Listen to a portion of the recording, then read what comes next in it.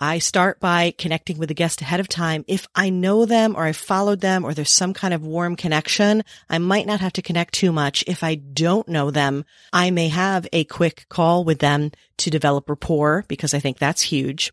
Developing rapport is not only you're getting along, but you're developing trust. Again, another important thing when you're interviewing. If someone shows up, they trust they understand what's going on. They know what you're doing, what you're about, what you're trying to achieve, what you're talking about. They're going to come in comfortable too. They're going to trust, you know, where you're leading them. That's a huge part of it. I will have the call. I will also research them, you know, a little cyber stalking. It's so important because again, you can touch base with the, not just the, the topics, but the angle of the topics that really resonate with them.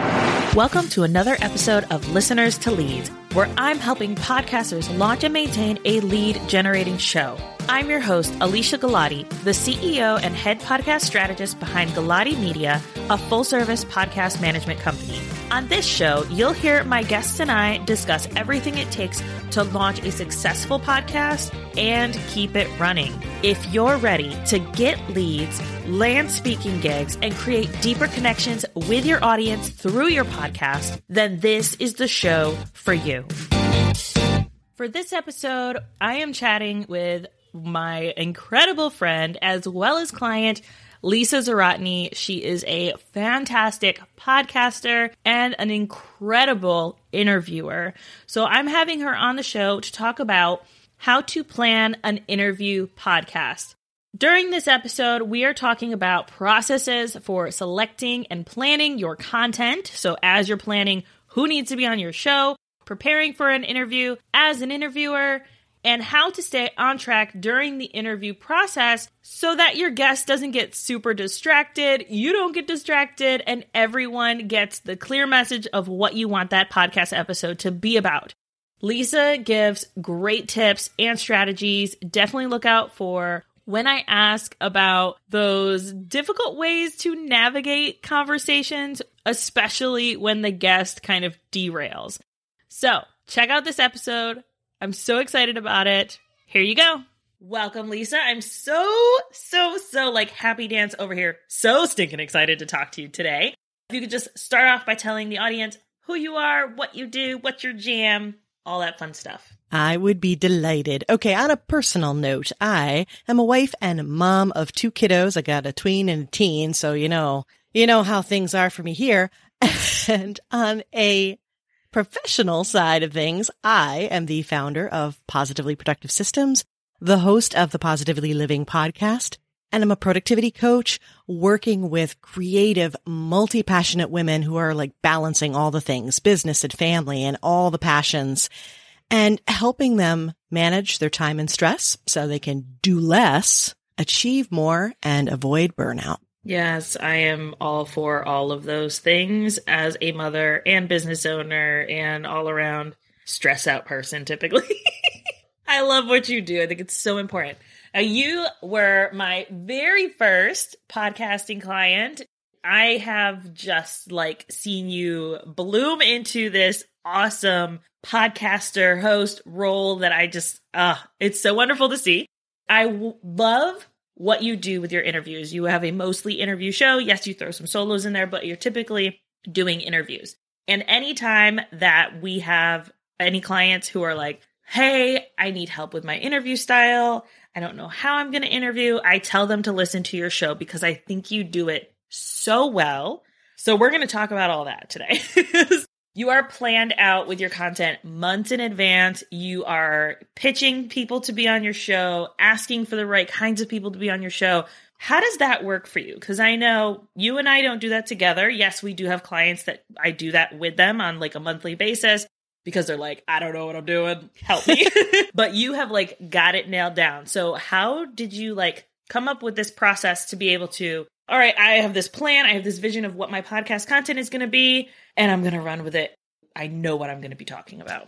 Okay, so for starters, I started with you and we had conversations and I took what you said to heart. Knowing your audience, knowing why you are doing your podcast in the first place, you know, getting that clarity up front. It's huge. So I created filters based on that. I'm like, why am I doing this podcast? What am I trying to achieve? This is my anchor content for my business. It shows my authority. It helps people understand what it is that I do, what I'm all about.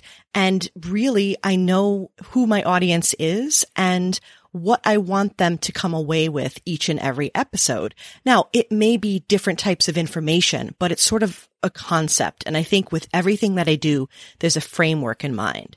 I create filters on what content is allowed in or not based on my audience. And in part because I created the marketing mantra for my business, which is do less, live more, breathe easier.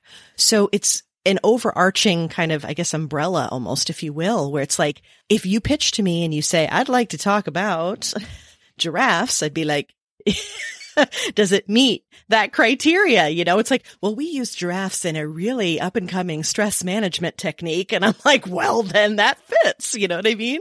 Okay, giraffes are literally my favorite animal. There's a giraffe behind me. Like, okay, guys, yes, can we come up with that? Somebody send me a DM and let me know. yeah, and then I will totally interview them on my. Po- I'm we're we're there for it. So this will be a plan. See, see how easy it is to create content.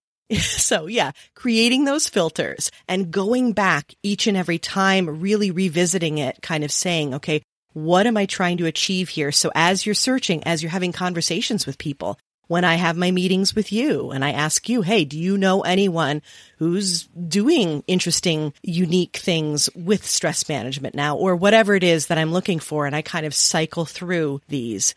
And then again, going back to the audience, like what do I want for them and structuring each episode in a way that I think they would want and that I would want. And for me personally, did that make sense? Could it be followed?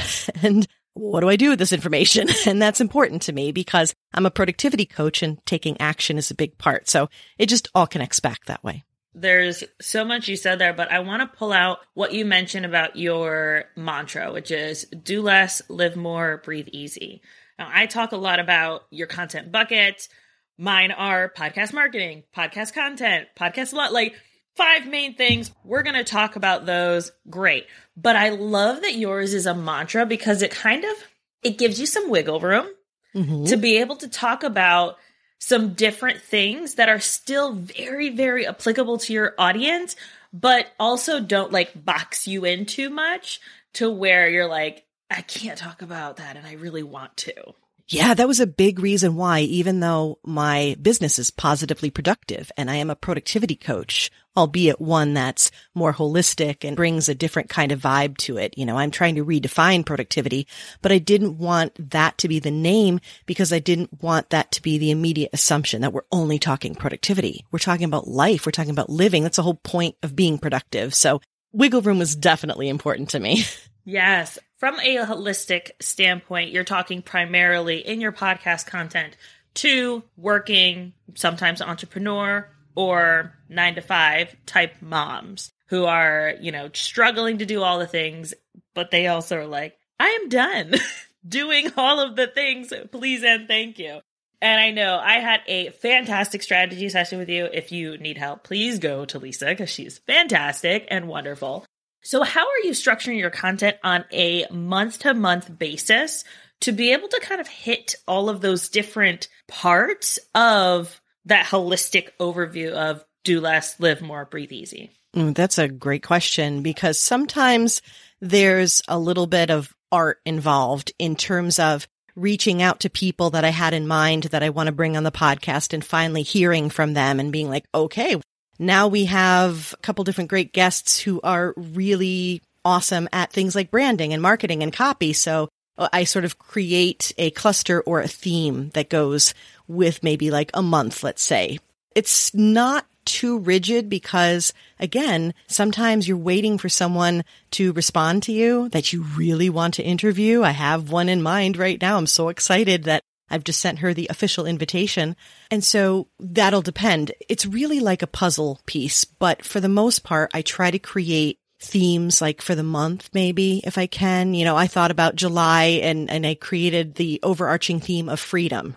So then it was a combination of things like, you know, taking a social media detox. And then I talked about freedom from the hustle and hustle culture and just putting things together like that. But yeah, it's a little bit of theming and a little bit of like art mixed in. Yes. and I think it also gives us space. You're a productivity coach, so obviously space is important here. Yeah.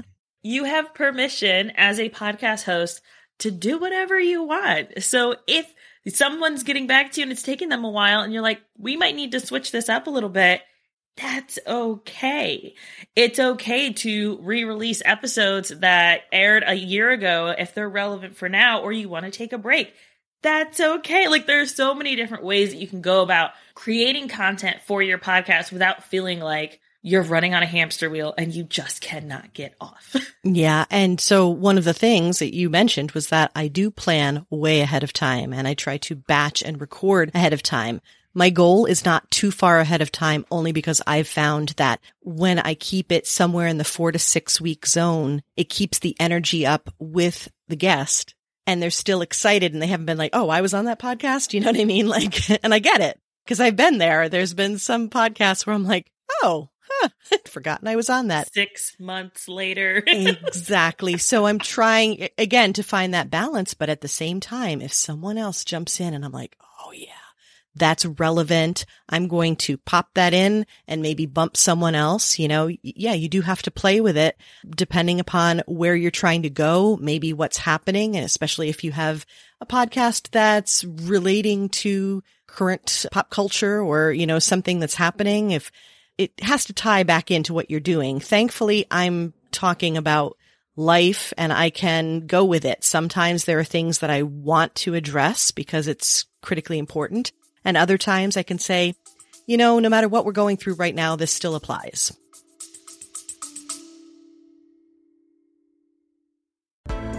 You put your heart and your soul into your show.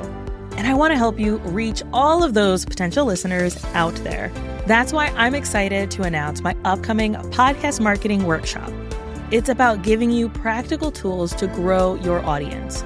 You'll learn the secrets to getting your podcast discovered attracting your dream listeners, and boosting those download numbers. This workshop will be hosted live with a replay available on April 30th. You can sign up by going to galatimedia.com slash workshop. Let's grow our podcasts together. Going back to you being a freaking incredible interviewer. How do you prepare? Because I know that you go in fully prepared. This is what we're going to talk about. And you're so good at keeping people on track, but we're not going to go there yet. but preparing for the interview, how do you do that? Is it in your questionnaire specifically that you are asking the right questions, or is it in your own work that you're doing? Tell us all your secrets. Shh. Okay, it's just going to be between you and me, okay? Yes. What you said right there, though, going in prepared, I think that that's huge. Plan as much as you can. Also, potentially be ready to have it fly out the window because sometimes, you know, winging it is the thing that has to happen. But going in prepared, I honestly believe that that helps keep you calm and focused and it really helps you stay present because to me, that's what being a good interviewer is, is being fully present. So I start by connecting with the guest ahead of time. If I know them or I followed them or there's some kind of warm connection, I might not have to connect too much. If I don't know them, I may have a quick call with them to develop rapport because I think that's huge. Developing rapport is not only you're getting along, but you're developing trust. Again, another important thing when you're interviewing. If someone shows up, they trust they understand what's going on. They know what you're doing, what you're about, what you're trying to achieve, what you're talking about. They're going to come in comfortable too. They're going to trust, you know, where you're leading them. That's a huge part of it. I will have the call. I will also research them, you know, a little cyber stalking. It's so important because again, you can touch base with the, not just the, the topics, but the angle of the topics that really resonate with them. Case in point, I mentioned giraffes to you because I saw a giraffe in the background. You know what I mean? It's paying attention to things like that. Thinking of questions as you go. Obviously, I collect a lot of information in the form ahead of time, which in part makes sure that I'm vetting them properly. And I even had someone recently tell me she could tell I really cared about my audience because I was very specific and I had a lot of questions and I had a lot of follow up with her before I said yes to having her be on the podcast. And she's absolutely right. So questions beforehand. And then I think of questions that I want to ask and just keep tracking them. I think of what I want to know, what my audience would probably want to know, what they would ask. Sometimes I ask my audience. I have a checklist so that I know what I need to have ahead of time. I have a template for each and every interview that has the guest and sometimes ahead of time I, I know or I have on my checklist for when I interview how to pronounce the name because that's a big one. Hi, coming from the name Lisa Zawrotny here. I kind of have to do that. I have everything sort of the framework built out so that I know where I'm going and I've kind of prepped with like questions that I would have in mind for them. It may go in a different direction, but at least I know that I can properly and confidently lead the conversation, which is my job as an interviewer. Yes. Uh, lead the conversation. I love that so much because you've had guests on, and I remember toward the beginning, you were getting people on who maybe had never had been on a podcast before. And so making sure that they're super comfortable, they're still giving value to your audience, having a team behind you editing so it takes out those, you know, awkward pauses or like, mm, do we want to take it in this direction? Yes, I think we do. You know, like that's really important as well. Or just taking the time yourself to do that, really being able to lead the conversation. So that leads us to the next one staying on track. I know that you have had, and I know these things, guys, because I'm her podcast manager. So that's how I know these things. But you had someone recently where it was like, I don't know that this conversation is going the direction I need it to. So let's talk about that first. How do you kind of redirect conversations when you feel like this is taking a turn that I'm not that I don't love it cuz it's a conversation, but I don't know that it's going to bring value, so let's move it back to what we were talking about. Yeah, that's such a good question. And some of it is finessing, but it's again goes back to having this framework and understanding right away, what do I want to get out of this conversation? What is the purpose of having this? What do I want the audience to get out of it?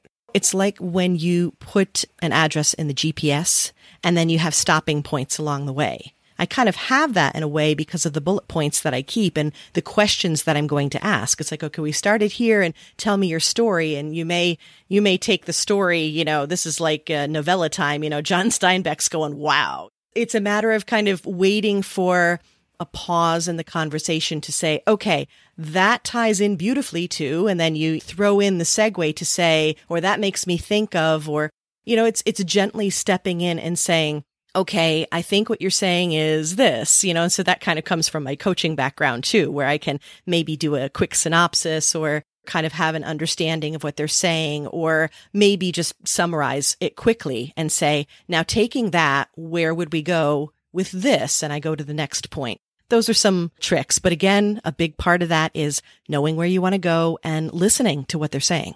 Being present, like you said earlier, in the conversation can be really difficult if you don't have that predetermined direction of where you want the conversation to go because right now my brain is going in like 15 different directions, but I have to remember okay, this is a podcast for podcasters. What do they want and need to know from Lisa's awesome experience? And how can they get value out of this? As much as I would love to sit here and talk to you about drafts, we can't. or talk about your kids or anything else. Like, like yeah those things tie into who you are as a person and it's great to be able to share your story and share different aspects of yourself but always keeping in mind what does your audience need? What can you pull from your guest in like the most loving way possible to be able to direct the conversation? So you're saying having those bullet points is definitely going to keep you on track. Now i am an enneagram 1 so i like a plan I like the bullet point idea. What if it doesn't work? The conversation is just like going an entirely different direction. And I know what I would do because I would just throw the whole thing out the window. but what would you do? Okay. So One of the things I want to mention quickly is that if bullet points really aren't your thing or that feels too structured, think about if you have ever tried mantra related meditation. And I promise you, when I've done mantra related meditation, that I'm trying to say the mantra and suddenly I'm like developing my shopping list and I'm wondering if my son did his chores and I'm like so distracted. And the concept with that is it's building a muscle. So you bring it back. You bring it back to the mantra. You bring it back to the mantra. So even if you only have one word or a mantra or setting an intention. That's a big part of what I do for the interview. I want to have conversation where I get this person's story and we inspire the audience to take action in this way. That's it. If you think about that always and you say, it's sort of like an ongoing filter, like, is this conversation feeding into that? If it goes completely off the rails, it could still feed into that. If it goes completely off the rails and you're like, I don't know about this, then you make a note to be like, okay, at this point, like, and I'm taking notes the whole time, just very quickly jotting down stuff so I can go back to it and then immediately be present again. Okay. Our minds cannot multitask truly. We can't focus on two things at once, but I can make a quick note and then lift my head back up and keep paying attention. So I make a note of maybe where things went off that we may cut that part. And then I create a new segue. It's like editing a chapter and being like, okay, we're cutting, you get an editor and they're like, we're cutting this part of the chapter. And then we start here and it makes sense. So that's a way that you can salvage it. And you could even say that's completely understandable. And I love that you shared that. Now let's focus on what we can do about it, you know, or whatever it is. You bring them back on track. It's just the difference between sometimes it's a little nudge and sometimes it's let me get behind you and give you a shove. yeah, I'm thinking about all of the times that my seven year old, he has to be talking from the time he wakes up to the time he goes to bed. He's an extrovert. And so he just wants to be in conversation. He wants to be talking. He wants to be doing and, and going. And I'm an introvert and my husband's an introvert. And we are like, can you just stop for five seconds? Like, how many times are you going to ask me about the, my favorite dinosaur? I've already told you at least a hundred times. It's a Spinosaurus. Come on. like, trying to redirect him to, okay, we need to be focusing on food right now. And sometimes it is that little nudge. And sometimes it's like, listen, you need to stop talking and eat your food. How do you do that nicely? because in my brain, like I said, Enneagram 1, and I'm like, things are a certain way. They have to be a certain way. So if they don't go that way, throw it away. The whole thing's trash. I'm trash. You're trash. Everything's trash. Completely transparent here in my Enneagram oneness. but like, how do you very lovingly move the conversation without making the other person feel like they totally messed up? There are so many ways that you can do that that are gentle. Some of them are just instinctive on my part because that's my nature, you know, to be, but there's this element of just acknowledging because again, this is a conversation. It's a recorded conversation. You are using it to present to your audience. So that's that element, but you are still having a conversation. So keep going back to the basics, which is if you were having a conversation with someone and they were going on and on and on and on, kind of like I am right now they want to be heard. They want to be acknowledged. So you step in and acknowledge that. Absolutely. That must have been so difficult for you. You know, that was a really brave thing you did. That's a really interesting point. You whatever, you know, just something that acknowledges and says, I've heard you. You can even say, you know, well, that paints a picture for us so we can understand where you're coming from with this. Now, what did you do next? It, it is the art of redirect and it does take some practice, but that's also something that you can do is you're listening right now, if there was something that I said where you're like, ooh, that's a good one, write it down and start practicing using it when you are talking and, you know, then they're saying something. I guess it's also being confident enough to, to step in without feeling like you're stepping over them. Sometimes you only have a little moment and other times you have a big pause like this one. yeah. And I think it really is a finesse to it and an art. And it's not something that you're just going to be really good at right away, which is why I tell people to listen to your show because it does take practice. I'm curious, did you have prior interviewing type experience before you became a podcaster? I worked in the corporate world and maybe interviewed people here or there. I don't really think there was anything that was specific about it, but I will tell you this. I listened to a lot of good interviewers. I made notes about, I was like, oh God, that was good. That was so smooth. That was really, in- oh, ask interesting questions. You know, I'm a natural questioner, so I knew that I could lean into that.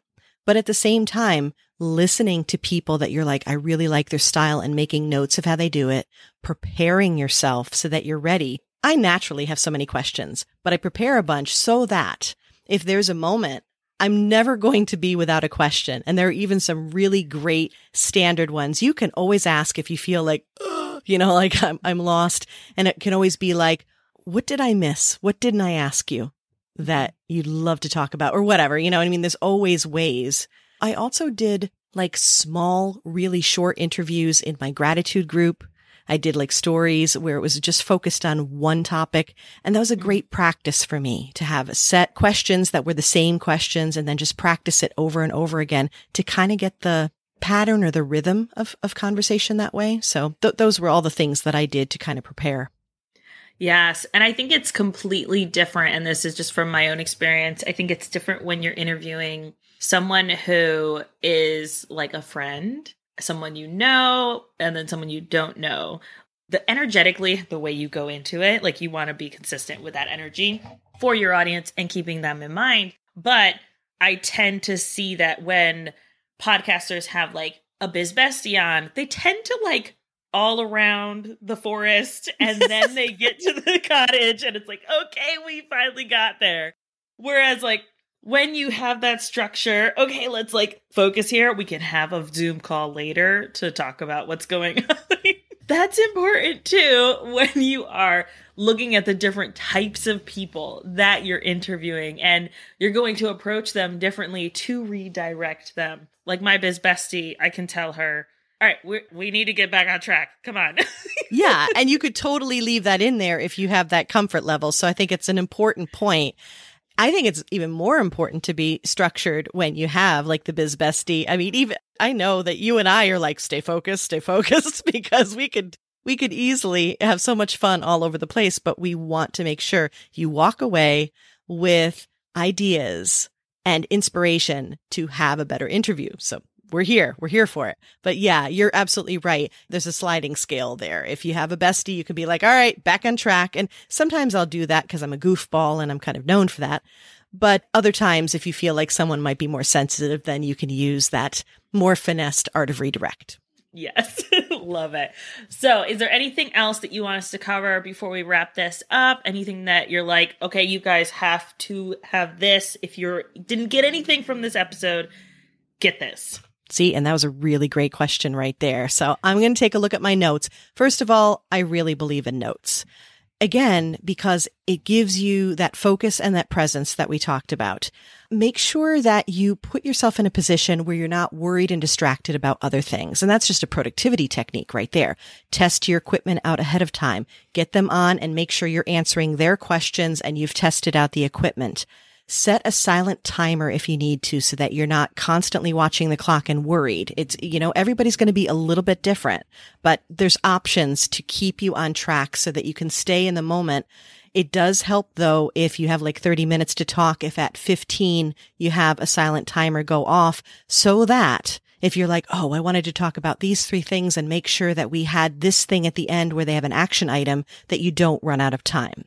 Again, have those questions you want to ask, have filler questions ready. What would you ask me or, or things like that? And take notes. Even while you're listening, if you need to, I do that and I love that. I have little codes for myself, like asterisks indicate things that I want to put in the show notes that, you know, links or, or they referenced a book or something like that, because I know that that's important to me to give to my audience. So I think that would just be it is prepare to be present. So tell everyone where they can find your podcast, where they can find you, what's your favorite place to hang out, because everybody needs to just go hang out with Lisa. Yeah, because we'll have so much fun. Yeah. Okay, you can find the Positively Living podcast at on all major platforms. So pick one, or you can go to positivelyproductive.com, my main website, slash podcast to locate me. And my favorite place to play Instagram all the way. Positively underscore Lisa. You can find me there. And we'll have all those links in the show notes. Apple users who don't have links anymore, sorry, not sorry. you can go to alesiagalati.com and get all of the links in the show notes there to hang out with Lisa. Definitely check her out. She's incredible. Thank you so much, Lisa, for being on the show. I so appreciate you taking your time to do this, giving us so much goodness on how to be better interviewers because it is it's so important. it is and it's my pleasure and you can do it. Just keep doing it.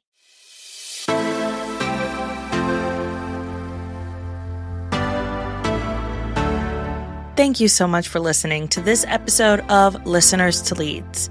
If you found something in this episode valuable, I would really appreciate it if you shared it with a friend who you know would also get value from it. Want to send me a message? My favorite place to hang out is Instagram. You can find me at alesia.galati. Let me know what your favorite takeaway was from the episode. And don't forget, turning those listeners into leads is actually easy.